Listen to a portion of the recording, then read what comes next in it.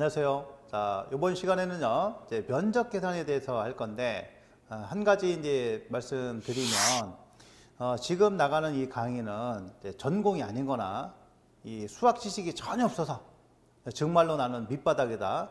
자, 이런 분들은 이제 보시고요. 그렇지 않으신 분들은 이제 패스해도 되는 그런 부분입니다. 그러니까 강의 초점을 갖다가 전혀 모르는 사람 위주로 잡아놨기 때문에 자, 그 염두 두시고요. 그럼 면적 계산 들어가도록 하겠습니다. 자, 가장 이제 쉬운 것 중에 하나가 이제 삼각형의 면적 계산하는 건데, 자, 우리가 이제 보면 이렇게 원래 뭐였어요? 사각형이었죠? 그러니까 요거하고 요거는 똑같은 건데 반을 딱 자른 겁니다. 그러면 사각형의 면적이라는 것은 밑에를 갖다 우리가 뭐라고 그래요? 가로라고 하고요. 그 다음에 여기를 갖다가 자 세로라 이렇게 얘기하는 거죠. 가로 세로 이렇게 얘기합니다. 그때 사각형의 면적은 어떻게 하면 돼요? 가로 곱하기 세로 이렇게 하면 되는데 그걸 갖다가 반을 잘랐으니까 이 부분이니까 그럼 어떻게 해야 돼요? 얘를 반으로 나눠줘야 되겠죠? 이게 삼각형의 면적을 구하는 식이에요. 이런 식으로. 근데 삼각형에서는 이 용어가 가로를 갖다가 뭐라면 아래쪽에 있으니까 삼각형의 밑변이라는 거고 요걸 갖다가 뭐라면 높이라고 하는 거예요. 용어 자체가. 나머지는 똑같습니다. 그래서 면적 계산식은 밑변 곱하기 높이, 즉 가로 곱하기 세로를 갖다가 뭐로 2로 나눈 것 같다. 이렇게 생각하시면 돼요. 네, 삼각형 네, 이렇게 구하면 되고요. 자, 두 번째 사각형. 사각형 말씀드렸으니까 가로와 세로를 자, 곱해 주시면 되는 거죠. 자, 만약에 이게 바닥에 있다 그러면 뭐가 되는 거야? 자, 이 면적은 바닥 면적이라고 하는 거예요. 바닥에 있으면. 그래서 이렇게 구합니다. 가로 곱하기 세로. 자, 아주 간단하죠. 자, 그 다음에 이제 세 번째가 원기둥 형태인데 사실은 이게 시험에서 많이 쓰입니다. 뭐 때문에? 전선 때문에 그렇다는 거예요. 전선 때문에. 자, 원기둥. 그러면 반지름을 갖다가 지금 R이라고 이렇게 표현하는 건데 자, 원의 중심 딱 재가지고 반을 질렀어요. 이거를 반지름이라는 거고 그 다음에 여기 또 마찬가지 이렇게 하면 이것도 뭐야? 이것도 반지름이죠. 그래서 반지름 곱하기 반, 아, 반지름 더하기 반지름 해가지고 여기부터 여기까지를 뭐라 하면 지름이란다 이거야, 지름. 자, D라고 합니다. 자, diameter 약자예요. 자, 지름은 2 곱하기 자, 뭐가 돼? 반지름이다 이렇게 표현할 수 있는 거죠. 그래서 지름은 반지름의 두 배다 이런 정도 일단 알아두시고요. 자, 그랬을 때 첫 번째 단면적을 구하는 적이 있어요. 단면적. 요거 얘기하는 겁니다. 자, 단면적. 요거는 어떻게 구하냐 이렇게 구해요. 자, 파이의 아래 제곱에다가 파이 아래 제곱을 이렇게 구하는데 또 하나씩은 뭐냐면 4분의 파이의 D자승으로 이렇게 표현된 게 있어요. 그러면 어떨 때 저걸 쓰느냐. 자, 원래 식은 반지름을 구해야 돼요. 단면적은요. 그러면 자, 요거도 한번 대입해 보겠습니다. 자, 파이에다가 여기 지금 반지름이니까 어, 지름은 반지름의 두 배라고 했지요. 자, 그러면 반지름은요. 자, 2가 필요 없으니까 지름을 갖다가 2로 나눠줘야 돼. 그럼 여기다 들어갑니다. 자, 2분의 d 이렇게 자 표현할 수 있고요. 요거에 지금 뭐가 되니까 자 제곱이 되는 거야. 자 제곱이라는 것은 뭐냐면 파이라는 그대로 가고요. 밑에 것도 제곱해주고 위에 것도 제곱입니다. 제곱이란 뭐냐면은 밑에 있는 요 숫자를 똑같이 두 번 곱해주란 얘기예요. 제곱이니까. 자 그럼 파이에다가 요거는 뭐가 돼? 2 곱하기 2가 되고 d 곱하기 d가 되는 거죠. 자 따라서 4분의 파이에다가 d자승 이렇게 표현되는 거야. 그래서 여기서 요 D를 갖다 small로 D로 표현했고요. 자, 지름인데 diameter라의 약자에서 지름을 D로 표현하는 거고요. 반지름은 이제 radius 해가지고 자, R로 이렇게 표기를 해주는 거예요. 그래서 이렇게 자, 원형 단면적이 딱 나왔을 때 가정했을 때 요놈이 갖고 있는 면적 S는 어떻게 구한다? 파이 R 제곱을 구한다. 자, 이것은 지름이 나왔을 때는요. 4분의 파이의 D자승으로 구한다 이렇게 알아두시면 되는 겁니다. 근데 실적으로 소방에서는요 반지름보다는 어떤 거 많이 써요? 지름을 많이 씁니다. 자 일반 전기는 아마 반지름을 많이 쓰실 거예요. 그러니까 반지름이 됐든 지름이 됐든 간에 아무거나 알아두시면 돼요. 이거는 자, 그 다음에 두 번째가 원둘레 계산하는 게 있습니다. 원의 둘레 계산하는 거. 요거죠? 이렇게 쭉 둘러딴는 게 원둘레 길이. 자, 이건 어떻게 구하냐? 2파이 r로 구합니다. 자, 2파이 r. 그리고 이 뭐야? 반지름에다가 반지름에다가 자, 뭐 곱한 거예요? 2파이를 곱해 준 거예요. 자, 근데 요거는 지금 뭐랑 같다? 파이 d로 이렇게 표현할 수 있네. 자, 그럼 뭐야? 파이란 놈 곱하기 여기 d는 지금 뭐니까? 지름이니까 이렇게 곱하는 거고요. 그 다음 우리가 파이를 갖다가 뭐라 한다? 바로 원주율이라고 하는 거죠. 원주율. 그래서 요 놈은 크기가 3.141592 어쩌고저쩌고 해가지고 아직도 컴퓨터가 계산하고 있어요. 아직도. 아마 어, 종말이 올 때까지 계산을 못 할 겁니다. 끝이 안 나고 있어요. 그래서 이거 끝을 내면 여러분들은 노벨 수사 어, 아마 노벨상 탈 거야. 어? 이게 그 정도 끝이 안 나. 컴퓨터 계산 못 해요. 그러니까 어디까지만 3.14까지만 딱 외워놓으시면 됩니다. 그래서 원둘레 구할 때는 2 곱하기 3.14 곱하기 반지름이다 이렇게 이해하시면 되고요. 그 다음에 이거는 3.14 곱하기 자 뭐로 지름으로 구할 수 있다 이렇게 알아주시면 되는 거예요. 이게 원둘레를 구하는 식이에요. 많이 쓰입니다. 단면적 원둘레 구하는 거. 자, 그 다음에 이제 표면적이 있어요. 표면적이 뭐냐면 껍데기 면적 구하는 거예요. 껍데기 면적. 그러니까 어디? 요 원기둥이 했을 때, 요 껍데기 원둘레에다가 그 다음에 요거에다가 뭐 곱하면 돼? 길이를 곱해주면은 뭐가 나온다? 바로 요놈이 갖고 있는 껍데기의 면적을 구할 수 있다. 이게 표면적이라는 거예요. 그래서 보시면 어떻게 구합니까? 원둘레 길이에다가 곱하기 뭐? 길이를 해준다는 거예요. 그러니까 여기서 여기까지가 길이가 되는 거고요. 요거는 지금 뭐가 돼? 원둘레가 되는 거죠? 어.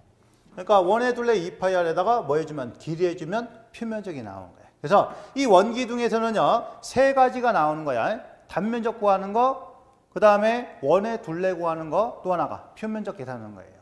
이런 것들이 상당히 중요해요. 실제로 많이 쓰입니다. 자 그러면 한번 예시를 들어가지고 우리가 자 문제를 한번 풀어보도록 그렇게 할게요.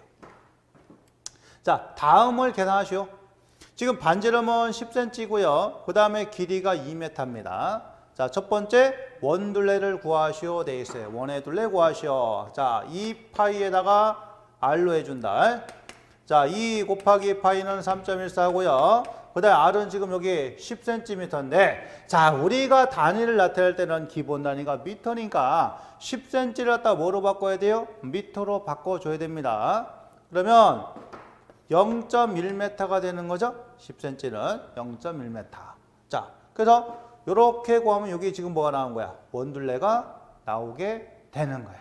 그런 식으로. 그 다음에 두 번째 단면적을 계산합니다. 자, 단면적 어떻게 해야 돼? 요거의 면적 되겠죠? 자, 그러면 파이란 놈에다가 R의 제곱을 지금 반지름 나왔으니까 음. 자, 파이 곱하기 R은요, 바로 0.1m의 요거의 제곱이 되는 거죠. 이렇게 단면적 구하는 거. 자, 또는 요거를 반지름 말고 한번 지름을 한번 구해 볼까요? 지름은 어 4분의 파이 D자승 되는 거잖아. 그죠? 4분의 파이 곱하기 자, 지름이요. 반지름이 10cm면 지름은 몇 cm가 되겠어? 두 배니까 20cm가 되죠. 그 여기다 얼마 들어가야 돼? 0.2m가 들어가는 거죠. 이거의 제곱이 되는 거예요. 어. 그러니까 이렇게 풀어도 되고 이렇게 부셔도 되는 거죠. 자, 표면적, 껍데기 면적입니다. 자, 그럼 뭐에다가 원둘레 길이 요거에다가 그러면 요거 2파이 아니니까 어, 봅시다. 그러니까 편하게 파이로 쓸게요. 그러면은 2 곱하기 0.1이니까 0.2가 나오고 0.2파이가 되죠? 자, 요거에다가 곱하기 길이 몇 메타? 2메타 되겠어요. 그러면 0.4파이가 표면적이 되는 겁니다. 이런 식으로. 이거는 뭐에다가 원둘레 곱하기 길이로 변할 수 있다는 거죠. 표면적 구하는 거. 자, 이런 부분들을 알아두셔야 하는 거예요. 그래서 아, 보통 시험 문제에서 주어질 때 어, 이 길이가 미터로 주어지면 좋겠는데 센티미터로 나오는 형태니까 만약에 1cm다 이거를 미터로 바꿔주면 뭐요? 어? 이거는 자, 1cm는 아까 뭐라겠죠? 어, 우리가 이전에서 10의 마이너스 2승의 미터라고 이렇게 표현했어요. 기본 표현이 이렇단 말이에요. 그러니까 1cm는 10의 빼기 2승이고 얘는 0.01m라는 얘기죠. 자, 다시 쓰면 얼마야? 100분의 1m가 되겠죠? 자, 이런 거 1cm가. 그러면 10cm라는 것은 얼마? 자, 100분의 1 곱하기 10m다 이런 뜻이야. 그러니까 100분의 10이니까 얘는 얼마 나와야 돼요? 10분의 1 나오는 거죠? 자, 따라서 0.1m 이렇게 표현할 수 있는 거야. 자, 그 다음에 100cm는 거 얼마 나오겠어요? 100cm. 자, 100 곱하기 1cm는 어, 100분의 1m가 되니까 자, 이거하고 이거하고 지워지겠죠? 그러면 100cm는 몇 메타? 1m 이렇게 표현할 수 있는 거죠. 자, 이런 것들이 어, 우리가 앞으로 다뤄야 될 그 내용 중에 숨어 있다 이렇게 보시면 되는 거예요. 그래서 다른 거 말고요. 딴 거 말고 삼각형, 사각형 이런 거보다 가장 중요한 것이 이 원통이 나왔을 때 단면적 구하는 거, 원둘레 구하는 거, 그리고 표면적 계산하는 거. 자, 그런 것들 잘 알아두시면 됩니다. 자, 그 다음에 자, 네 번째 이제 직육면체 표면적 껍데기 면적 구하는 거 있어요. 직육면체입니다. 표면적 구하는 거. 자, A가 있고 B가 있고 그 다음에 H는 높이에요. 가로 세로 높이다 이렇게 보시면 되는 거야. 기본적으로 봤을 때.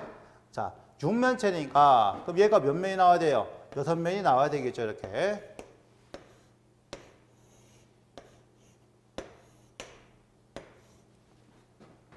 자, 그죠? 1, 2, 3, 4, 5, 6 이렇게 구성이 될 거예요. 그죠? 접어가지고 접어가지고 접어야 여섯 면이 나오는 거죠. 자, 그러면 표면적 구할 때는 어떻게 되냐? 여러분들 봤을 때. 자, A 곱하기 H 곱하기 두 면입니다. 그럼 뭐야? 여기요. 여기. 그러니까 자, 앞에 뒤에가 되는 거죠. 앞뒤가. 자, 두 면 플러스에다가 여기 B하고 H니까 요거는 뭐야? 좌우가 되는 겁니다. 요거 두 면이요. 자, 이거 플러스에다가 자, 위아래 뭐가 있어요? 여기가 A고 얘가 B인 뚜껑 있잖아. 천장하고 저 아래쪽에 뭐가 있어요? 바닥이 있겠죠? 자, 고개 몇 개? 두 개. 이렇게 구하면 전체 표면적이 나와주는 거예요. 자, 따라서 요거 갖다 계산하면은 예, 표면적을 산출해낼 수 있다. 그래서 어, 앞에 뒤에 그 다음에 좌우 위아래 여섯 명이 나옵니다. 자, 그 예제 한번 풀어볼게요. 교름의 표면적을 한번 구해봅시다. 자, 20m, 10m, 여기 4m가 이렇게 되어 있어요. 자, 그럼 들어갑니다. 자, 20 곱하기 높이 4m짜리가 몇 개? 두 개 플러스에다가 좌우 어, 10m 곱하기 4m짜리가 두 개 플러스에다가 자, 20의 10짜리가 여기가 또 몇 개 있어요? 20의 10짜리가 또 두 개 이렇게 있는 거죠. 자, 이거를 다 더해주면 되는 거예요. 자, 이거는 80이 나올 테고요. 이거나 160 나오네. 자, 플러스에다가 이거는 80 나올 테고요. 자, 요거에다가 요거는 400 나오겠어요. 자, 계산하면 얼마 나오냐? 바로 640 제곱미터. 자, 이렇게 나와 주겠네. 그죠? 요게 240이고 400이니까 640 나온다. 실제로 이제 표면적 구하는 것들은 시험에 다룰 수 있어요. 그러니까 이런 정도 아시면 돼요. 변자가. 그러니까 이거 외에 다른 것들 하지 마시고 딱 요것만 정리하시면 되시겠습니다. 그러니까 어, 면적 계산, 육면체 표면적하고 그다음 또 하나. 자, 원통의 단면적 정도. 그리고 원둘레 구하는 거. 네, 표면적 구하는 거. 그런 정도만 구분해서 하시고요. 나머지는 차근차근 이렇게 하시면 됩니다.